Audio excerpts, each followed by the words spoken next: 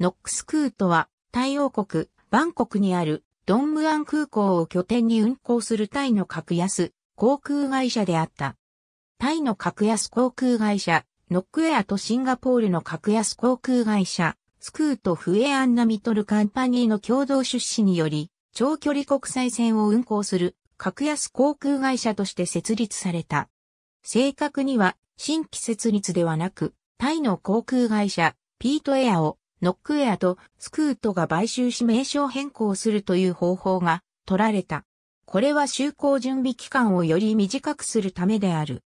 2017年10月、国際民間航空機関が対民間航空局に対する安全上の懸念が解除されることに伴い、ネットワーク拡大計画を発表した。今後、半年をめどに新機材を導入し、バンコク、ドンムアン空港から日本、中国、インド、韓国へ新路線を開設する計画である。2018年4月20日、日本の国土交通省より外国人国際航空運送事業の経営許可を受け、6月1日より、ドンムアン空港成田国際空港間に就航。2020年6月、経営不振等により生産、事業を終了した。